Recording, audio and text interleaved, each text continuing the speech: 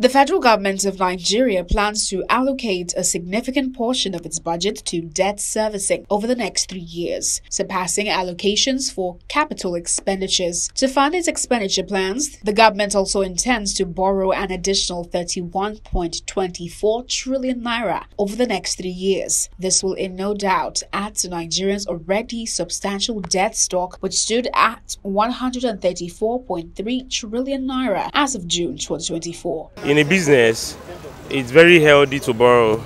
Okay, very healthy to borrow in business. Okay, but uh, the aspect you made mention of, when you borrow, you should be accountable for the money you have borrowed and most times you, you agree with me when you borrow you have a collateral so nigeria in this context we have collateral in the aspect of uh, us being rich in natural resources. So if we can harness our natural resources, we have gas that will flare up in the Niger Delta area. We harness them. You, you see, um, very recently, you see vehicles, even here in Benin, now running on CNG.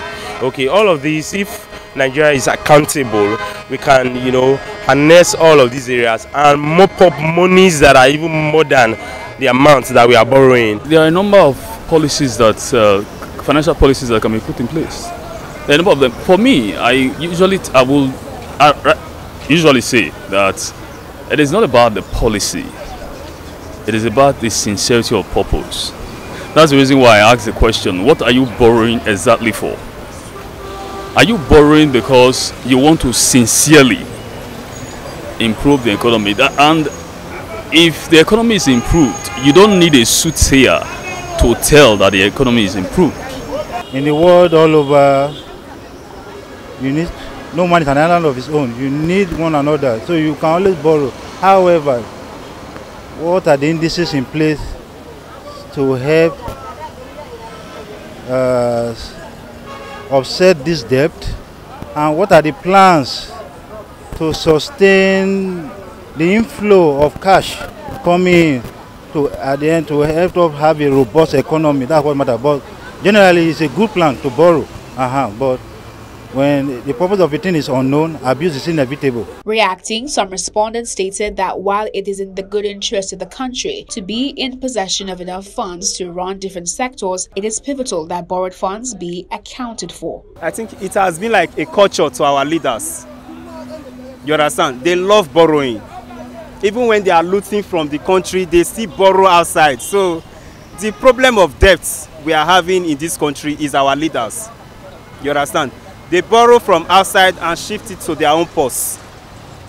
They don't use it for what they they are supposed to use it for. Others noted that more borrowing of funds would affect Nigeria's already ailing economy and called for sustainable financial reforms that would cushion the rates of borrowing funds and evacuate the country out of its debt. According to reports, the government intends to borrow 9.22 trillion naira in 2025, increasing to 8.78 trillion in 2026 and 13.24 trillion naira by 2027. The fresh borrowings will be used to fund the government government's widening budget deficits, which are projected at 13.8 trillion naira in 2025, 12.14 trillion naira in 2026, and 13.76 trillion naira in 2027. Experts say if the borrowing trend continues, Nigeria's debt stock could be near 170 trillion naira by 2027. Oluwatoyin Oyedola reporting for BTV News.